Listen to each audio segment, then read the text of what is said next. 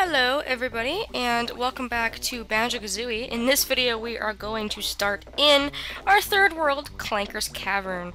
So, let's get this place started because it is going to be a little different than the last couple of worlds that we've seen. So, we've got one new move to learn in this place, which is apparently well hidden, so challenge accepted, Bottles.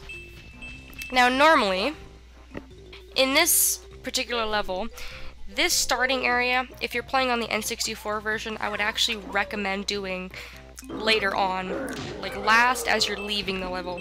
The reason for that is because in the original version, all the notes and everything reset, and you have to come back and reset and come and get all the stuff back again if you are to die. This is the first level in this game that will actually give you possibility of dying, which we'll see in a little bit here. But since this is the Xbox version and everything saves when I die or when I quit the game or whatever, uh, auto saves, I'm just going to collect the stuff now before we move on into the actual level itself. So it's kind of a murky, dirty, uh, actually it's a water level, surprisingly but it's kind of a different sort of water level. So, if I could get my notes correctly, that would be great. I'm gonna have a lot of problems in this world if I can't swim into some simple notes. We're going to swim into the tube to reveal whatever the heck this thing is. Bzz, I am Clanker, witch's garbage grinder. Clanker not like dirty water. Want fresh air. Okay, that is very strange. A big metallic metal monster. And this is the reason why I think a lot of people really had troubles with this world as a kid. Clanker is kind of a strange looking whatever he is. But, you know what, Clanker's really all a good guy. He's really not that bad. So we're going to try and we're going to attempt to help him. I recommend having full air before you do this because you have to actually dive all the way down to the bottom here. Clanker's connected um, to this little block here by this chain and what you have to do is you have to unlock him. And all you have to do that is you have to swim through this key three times. Now, the problem with this is that you uh, have very, very limited air. Luckily, there's this fish swimming around that will give you air bubbles and if you swim into the air bubbles, you'll get your air back. Um, without this fish, you would be doomed. This would be literally impossible because not only do you have to swim through the key, you have to uh, then swim through the bottom of the level here to get the notes, and there's a Jinjo hiding down here as well. So, for some reason, Gloop only introduces himself now, after we've freed Clanker. After you swam through the key a couple times, Clanker will float to the top, and he's got some nice treats waiting on his back. Clanker has fresh air. You find reward on Clanker's back. For his voice, I was actually plugging my nose, but I can't do that right now because I'm trying to concentrate on collecting some stuff.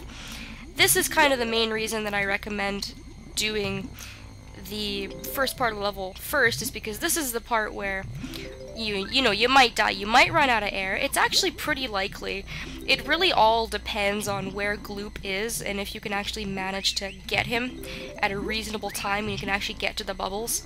Because if you're running out of air and he's all the way on the other side of the uh, area I'm sorry to tell you but you are out of luck. So fortunately it looks like we've pretty much got everything. I'm just gonna collect the Jinjo here, save him from a death, although it doesn't seem like the Jinjo's having much trouble breathing underwater, uh, unlike Banjo and Kazooie, and we're gonna get the hell out of here.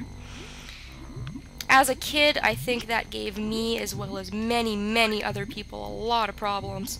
It's really hard when you're a kid to try and concentrate, and it's really kind of under pressure to swim and free Clanker. And, uh, well, the worst part of the level is honestly over. After you get past that little bit there, this level's actually really not that bad. I think this level's kind of creative, and I, I quite like it. I actually also really love the music for this level, too, so... Thank you for our first Jiggy Clanker. Bzz, Clanker's teeth hurt now. Eat too much garbage. Help, Clanker. Okay, Clanker, you know what? I feel bad for you. I really do. I feel really bad for this guy. He has to compact all of Grunty's trash for the whole lair, which, may I remind you, is huge. And I don't even want to know what kind of trash Grunty throws away. So, there's a couple things we can do to help Clanker. You can get up on his little blowhole, I guess.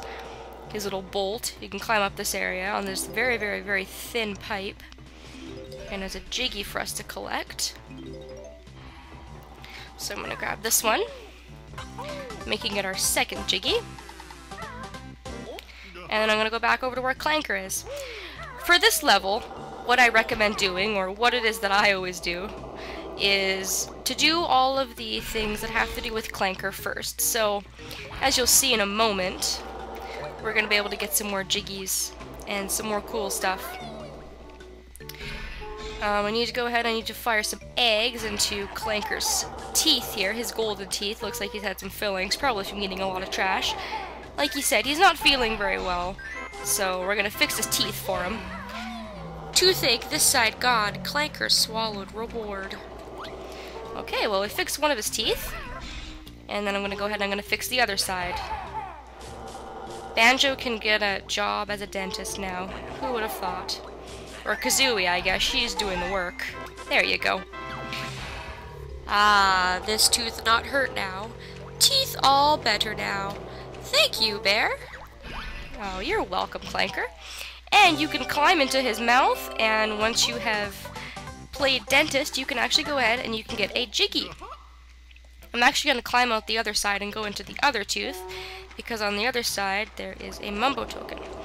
So, once you have cleared up Clanker's dental problems, you can climb into his body through his mouth, and this is when the uh, level really starts.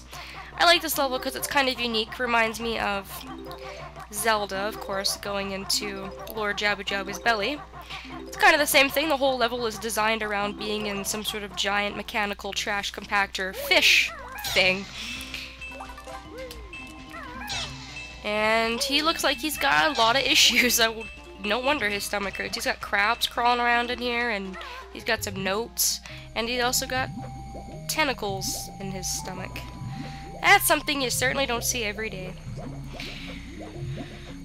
Okay, so we're also going to do a little bit of a obstacle course.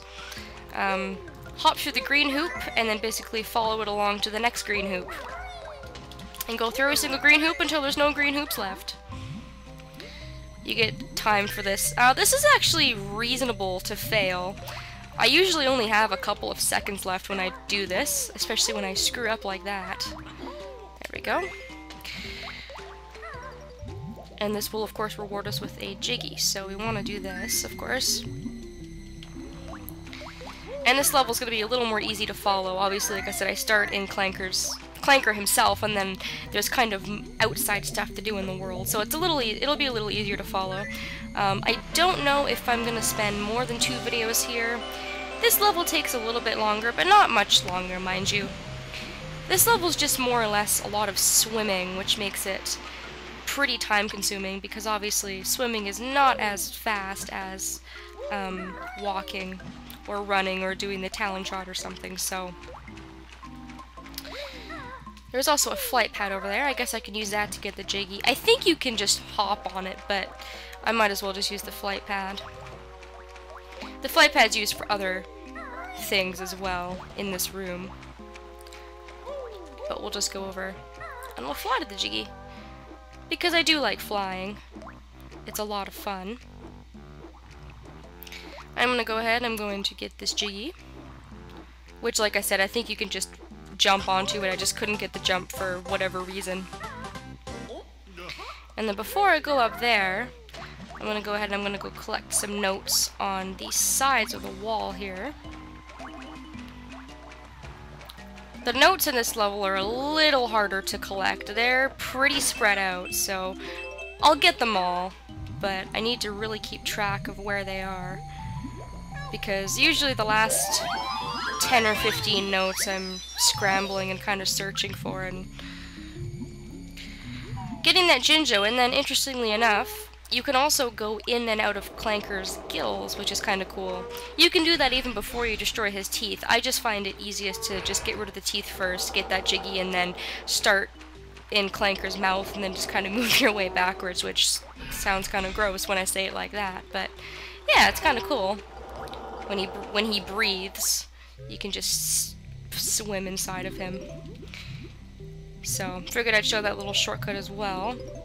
And now that I've done that, and I've collected all of those notes, now I will use the flight pad and we'll go up above where the Jiggy was, and we'll see what's up there.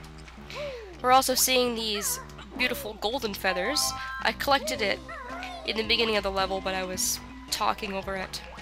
We're gonna get a use for those soon. So, let's fly, and let's go over here. Interesting that Kazooie can fly even when there's no air. I guess she is a bird after all. And over here we've got a lot of fans, and we've also got bottles. Aha, I found you! You're not so hidden after all. This move uses Biko's wings as a shield against the bad guys. Cool. Does it make me invulnerable? Sure does. Hold the right or left trigger and push the right stick right. Keep the right or left trigger held and use the left stick to move around. Use it wisely though, as this re move requires gold feathers and you can only carry 10 of them. So,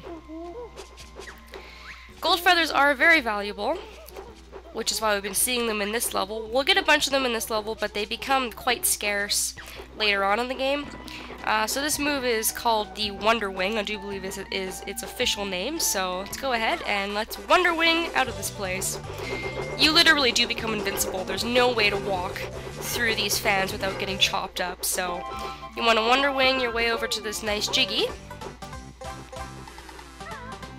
And that makes five, so we're making some really killer progress in this level already. And I love the music that plays when you Wonder Wing. Oh, who am I kidding? I love the music everywhere in this game, really. Alright. So now that we've done that, we actually have pretty much finished all that there really is to do in Clanker's body. We've collected a couple of Jiggies and we've cleared up his dental problems and found Bottle's one hidden move that he had mentioned. I guess that means that we can just leave through his gills, and then we can start the outside of the level. Lots of swimming in garbage water. I hope Banjo and Kazooie are going to be okay. Alright, so let's go over here. And so far, if we take a look at our totals for this world, We've got over half the notes, we've got half the jiggies. There's two honeycomb pieces to find in this world, which I'm going to have to keep an eye out for. And we'll hopefully be able to make a bit more progress in the next video. Don't know if we'll finish it, but we'll see. So, thank you guys so much for watching, and I hope that I will see you next time.